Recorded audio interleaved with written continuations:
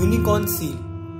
Its location is assumed to be Mohenjo-daro of Indus Valley civilization and its time period is considered to be 2500 BC.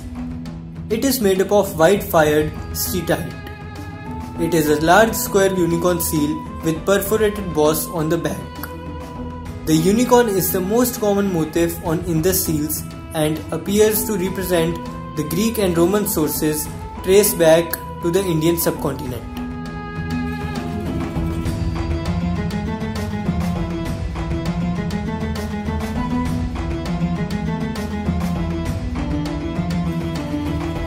Indus Valley was linked to Mesopotamia through the Indian Ocean trade.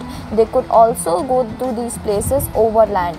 The time period of these seals is 3500 to 1900 BCE. Most of these seals were made up of steatite, which is a soft stone, whereas some were also made up of gold, ivory, and terracotta. It is believed that these seals were used for the commercial purposes. The Indus script is also known as the Harappan script is a corpus of symbols produced by the Indus Valley civilization.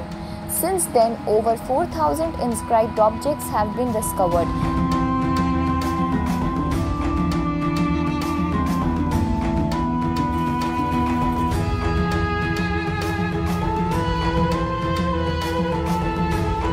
Pashupatinath seal this seal was discovered by Mohenjo-daro in archaeological site of Indus Valley. This seal depicts a seated figure. Uh, the Pashupatinath seal is kept in the National Museum of India in New Delhi. Uh, the Pashupatinath seal was appeared in Indus Valley around 2600 BC. This seal is in square and rectangular shape. It is made from the fired steatite. A fired steatite is a soft soapstone was which is curved, polished, and then fired in the kiln for widen and harden the surface. This seal shows the ancient culture of India and the Vedic culture of India.